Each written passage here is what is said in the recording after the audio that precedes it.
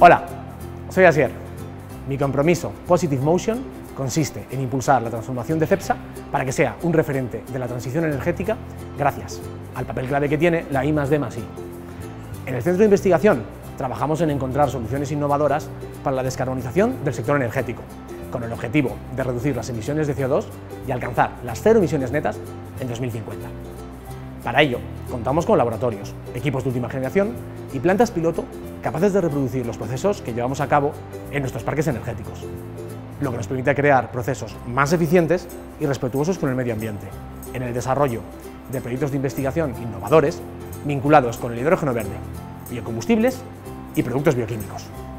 Todo ello lo hacemos por medio de técnicas de economía circular, que abogan por procesos de producción sostenibles y el aprovechamiento de residuos.